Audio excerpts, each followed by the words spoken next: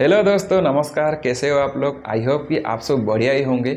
आज का इस वीडियो में फ्लैट फ़ूड का मेडिकल के बारे में हम बिल्कुल डिटेल में जानने वाले हैं। एक्चुअली कितने टाइप का फ्लैट फ़ूड होता है? हमारा जो फ्लैट फ़ूड वो कौन सा टाइप का है? हमारा जो फ्लैट फ़ूड है, वो एक्सरसाइज के ज़रिए ठीक हो सकता है कि नहीं? और वो क्या क्या एक्सरसाइज है जिसको हम करने से फ्लैट फ़ूड ठीक हो जाएगा? और डिफेंस में फ्लैट फ़ूड को क्यों एक्सेप्ट नहीं करता? दोस्तों, इससे पहले ऑलरेडी मैं मेडिकल के ऊपर पाँच वीडियो बना चुका हूँ। जैसे कि आपका हो गया टाटू टी नौकनी, आई और प्राइवेट पार्ट के बारे में। जिसका कोई भी डाउट है इस चीज़ के बारे में तो चैनल में वीडियो है। मैं बिल्कुल डिटेल में बताया हूँ वीडियो में जाके उसको वॉच कर सकता है और उसका प्रॉब्लम मालूम करके, उसका ट्रीटमेंट करके मेडिकल तक बिल्कुल वो फिट हो सकता है, क्योंकि मेडिकल होने में अभी दो महीने जैसा टाइम बचा हुआ है। दोस्तों, वीडियो को शुरू करने से पहले, जो मेरे चैनल में नए हैं, प्लीज़ चैनल को सब्सक्राइब कर देना, वीडियो को लाइक कर देना, दोस्तों से शेयर कर देना। आप लोग वीडियो देखते हो, लेकिन लाइक सब्सक्राइब नहीं करते बहुत दिन से मेरा चैनल थोड़ा बंद पड़ा था, इसलिए व्यूज़ नहीं जा रहा है। भाई को प्लीज़ इतना सपोर्ट करना। सबसे पहले फ्लैट फ़ूड का हम कैसे पहचान करेंगे? आप लोग तो जैसे कि पहले से क्या करते थे पैर को पानी में गीला करके एक सूखे जगह एक सूखे जगह पर जाके खड़े हो जाते थे। जैसे कि आपका पैर का वहाँ पे सेप बन जाता था उस सेप को देख कर पता करते थे। देखिए ऐसा करने से क्या होता है कि जैसे कि अभी गर्मी का सीज़न है तुरंत ही वो जो पानी का जो सेप है वो तुरंत ही सूख जाता है जैसे कि आप सही से उसको देख नहीं पाते हो। तो आप लोग को क्या हो, करना होगा जिस पानी में आप पैर को गीला कर रहे थे उस पानी में कोई भी रंगोली या कलर थोड़ा सा मिला देना, जैसे कि वो कलर बन जाएगा, उस कलर में आपको पैर को गीला करके व्हाइट पेपर रख के उसके ऊपर जाके आराम से खड़े हो जाना। ऐसे करने से आपको क्या फ़ायदा होगा? देखिए, आपका जो पैर का शेप बनेगा, वो मिटेगा नहीं, हमेशा के लिए रहेगा, उसको सही से देख के आप जजमेंट कर सकते हो। नहीं तो उसका फ़ोटो खींच के फिजियोथेरेपिस्ट डॉक्टर या किसी को भी उसको भेज के आप सजेशन ले सकते हो। ये तो हो गया पहला तरीका। दूसरा तरीका देखिए, जिसका भी फ्लैट फुट का, जिसका नॉर्मल फुट होगा, उसका आंकेल से एड़ी तक बिल्कुल एक सीधी रेखा बनता है। लेकिन जिसका भी फ्लैट फुट का दिक्कत होगा, उसका एड़ी ऐसे बाहर तरफ़ टेढ़ा रहता है और आगे से अंगूठा ऐसे बाहर तरफ़ टेढ़ा रहता है। अगर आपका फूट ऐसा है तो आपका फ्लैट फुट का दिक्कत है। और तीसरा तरीका जिसका भी जो जैसे आप नॉर्मल खड़े हो तो आपका मान लीजिए ये आप नॉर्मल खड़े हुए का पैर है तो पैर के नीचे ये जो आर्च का एरिया है, यहाँ पर आपका तीन अंगूठा ऐसे आराम से घुसना चाहिए, तभी आपका जो फुट है नॉर्मल है। अगर आपका पैर ऐसे समतल बन जाता है, जैसे खड़े होते हैं, उसका समतल बन जाता है, यहाँ पर अंगूठा नहीं घुसता है तो आपका फ्लैट फुट का दिक्कत है। चलिए हम जानते हैं कि डिफेंस में फ्लैट फुट को क्यों एक्सेप्ट नहीं करता। दोस्तों, आप लोग बता देता हूँ, जिसका भी फ्लैट फुट हुए, मान लीजिए जैसा कि वो बिना सकब्ज रेसा बाइक है आप लोग को पता होगा बिना सकब्ज रेसा बाइक क्या होता है। देखिए, जैसे कि ये आपका पैर हो गया, ये टो हो गया, ये आपका एड़ी हो गया और ये आपका आंकेल हो गया। जैसे ही आपका ये जो नॉर्मल फुट है, इसके नीचे जैसे कि आपको आज दिखता है, जैसे कि आपका पूरा बॉडी का वज़न आंकेल के ज़रिए आपका फुट के ऊपर आता आता है, आपका फ़ूड के नीचे जैसे ही आर्स रहता है, जैसे ही प्रेशर आता है, वो स्प्रिंग के जैसे ऐसे काम करता है। जैसे ही प्रेशर बनता है, वो ऐसे हो जाता है, फिर जैसे आप पैर उठाते हो, वो ऐसे हो जाता है। ऐसे ऐसे करके ये स्प्रिंग जैसा काम करता है। तो एंकल के ऊपर हमारा प्रेशर नहीं आता है, पूरा बॉडी का प्रेशर एडी और टो दोनों में बढ़ जाता है। जैसे कि हमारा एंकल के ऊपर प्रेशर नहीं आता है, ये हमारा नॉर्मल फूट हो गया। जिसका भी फ्लैट फूट दिक्कत होता है, उसका क्या होता है कि उसका पैर पूरा समतल रहता है। आंकेल का जो बीच वाला हड्डी ज़मीन के लगने जैसा रहता है। उसे क्या होता है कि जैसे हम आ, हमारा शरीर का जो वज़न फ़ूड के ऊपर आता है तो डायरेक्ट जो आंकेल का जो हड्डी है उसके ऊपर मतलब प्रेशर आ जाता है। जिसके चलते आंकेल नी बैक और आपका ये वाला जो हड्डी यहाँ पर आपका प्रेशर आता है और इसमें पेन होता है।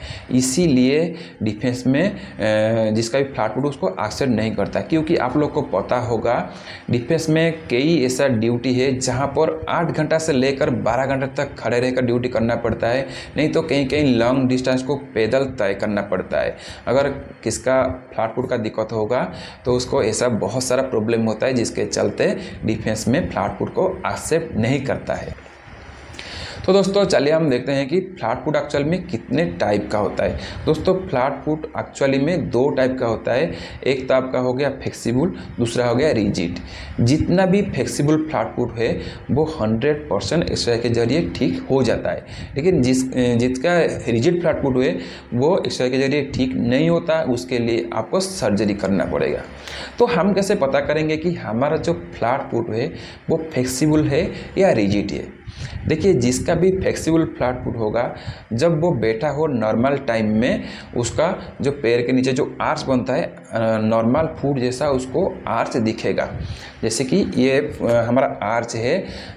जैसे कि रहता है, ये नॉर्मल फ़ूड में रहता है, जिसका फ्लेक्सिबल फ्लैट फुट होगा नॉर्मल टाइम में वो आर्च उसको दिखेगा। जैसे ही वो पैर के ऊपर खड़ा हो जाएगा तो वो आर्च बिल्कुल समतल बन जाएगा। फ़ूड बिल्कुल समतल बन जाएगा। अगर आपका फुट ऐसा वाला है तो वो फ्लेक्सिबल फ्लैट फुट है।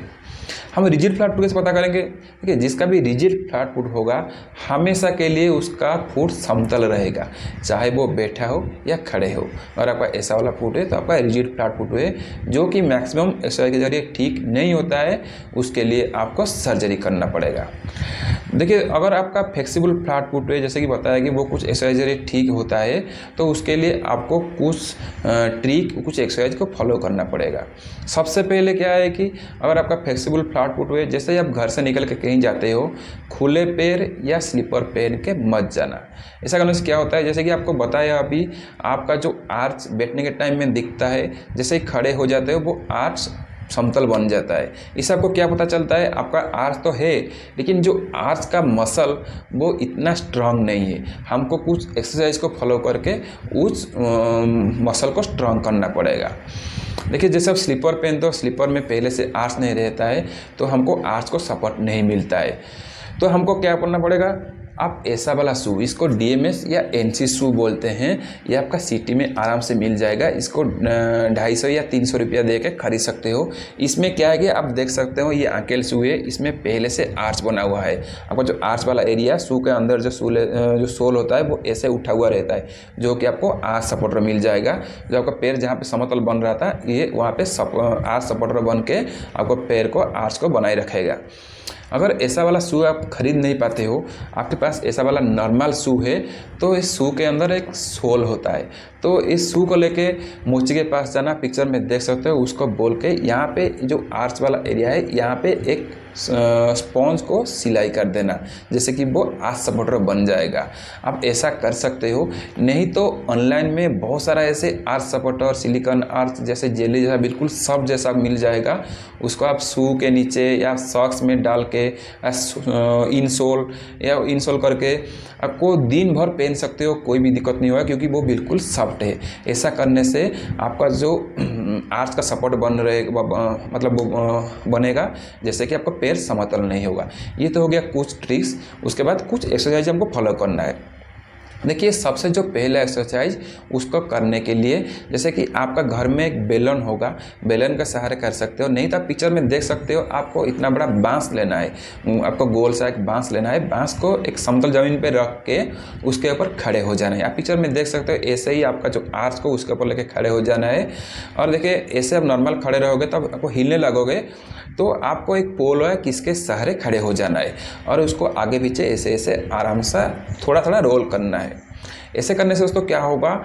वो जो आर्ट्स का एरिया है, वहाँ पे बहुत दर्द होगा। कम से कम इसको पाँच मिनट करना उससे ज़्यादा तो आप नहीं कर सकते हो, क्योंकि बहुत दर्द होता है, कम से कम पाँच मिनट करना। देखिए दर्द होगा तभी ये काम करेगा। जैसे ही आप जिम में जाके बाजू के लिए आप ड्रम्बेल मारते हो, बाजू में पेन होता है, तभी आपका बाजू फूलता है।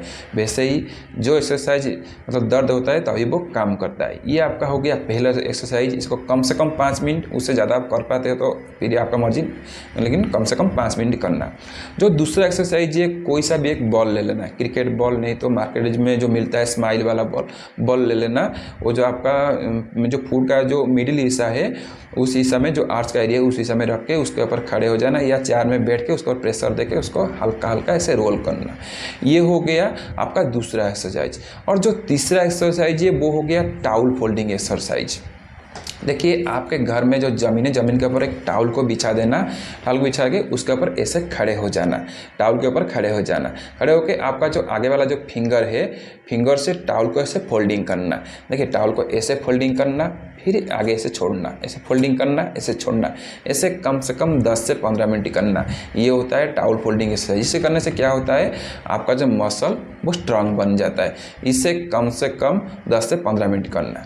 और आप जैसे ही जाके सुबह मतलब कोई भी फ़िज़िकल एक्टिविटी करते हो तो आप रनिंग करते हो या कूदते हो, कुछ भी करते हो तो आपको, देखिए, आपको वहाँ पे फ्लाट फुट दौड़ना नहीं है। जिसका भी फ्लाट फुट दिक्कत होता है, वो फ्लाट फुट ही दौड़ता है। तो आपको फ्लाट फुट दौड़ना नहीं है। ध्यान देकर आपको टो के ऊपर कूदना है टो के ऊपर रनिंग करना है, ये सारे कार्रवाई टो के ऊपर ही करना है। दोस्तों, ये था कुछ एक्सरसाइज और कुछ ट्रिक्स इसको अगर आप सही तरीके से डेढ़ से लेकर दो मिनट तक फॉलो करोगे तो हंड्रेड परसेंट आपका जो फ्लेक्सिबल फ्लैट फुट है उसमें सुधार आ जाएगा। ऑनलाइन से सही बताया आप जो आर्च सपोर्टर नहीं तो इंसोल आर्च नहीं तो सिलिकन आर्च कुछ भी लेके आपको यूज़ कर सकते हो। इस टिप के अगर सही से फॉलो करेंगे तो डेढ़ से लेकर दो महीने के अंदर हंड्रेड परसेंट ठीक हो जाएगा। दोस्तों, आज का वीडियो यहीं तक था। वीडियो आपको थोड़ा सा भी इन्फॉर्मेटिव लगा तो प्लीज़ यार वीडियो को लाइक कर देना सब्सक्राइब कर देना। और दोस्तों कोई भी डाउट है इस चीज़ के बारे में तो कमेंट करना, उसका आंसर मैं दे दूँगा। और नेक्स्ट वीडियो कौन सा टॉपिक पे होना चाहिए प्लीज़ यार एक कमेंट कर देना। दोस्तों, आज का वीडियो यहीं तक था। वीडियो देखने के लिए आपको बहुत बहुत धन्यवाद। मिलते हैं नेक्स्ट वीडियो में।